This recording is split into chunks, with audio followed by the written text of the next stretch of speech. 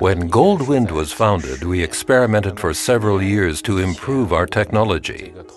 It took us a while to realize that IEC standards could help speed up the process and allow us to leapfrog our technological development. We learned from technical exchanges that IEC international standards combine the knowledge of many experts from many countries. They integrate key learning from scientific engineering experiments under a variety of climate conditions and incorporate best practice engineering, methods, and experience. They also explain the mistakes others made before us so that we don't repeat them.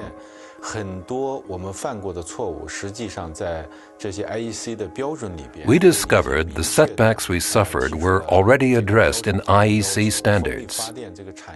If we had participated earlier on, we could have avoided many of them.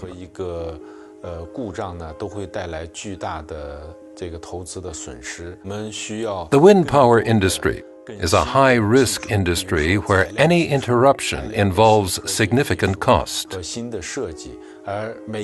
These risks come in many forms.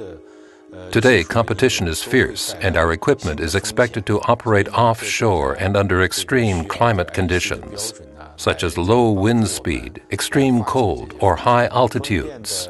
To overcome these problems, we need to innovate, develop new designs, and use new materials. And all of this requires risk management. Turbines are increasing in size, and their design is becoming more complex. Such considerations influence how we must look at safety. For all of these situations, we need IEC international standards. They help us ensure safety, protect our investment, and reduce risk.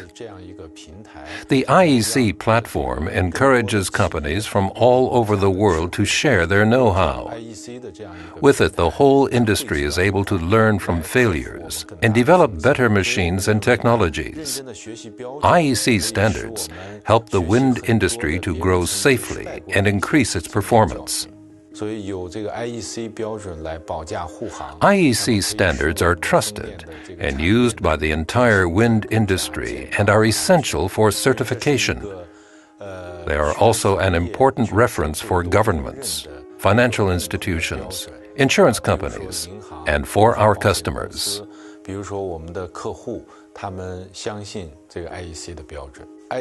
With IEC standards and conformity assessment, we're able to bring our products rapidly to market, including the international market. We found that early involvement and use of IEC standards help reduce research and development risks. We don't have to waste time and money on costly mistakes. With half the investment, we're able to double our efficiency.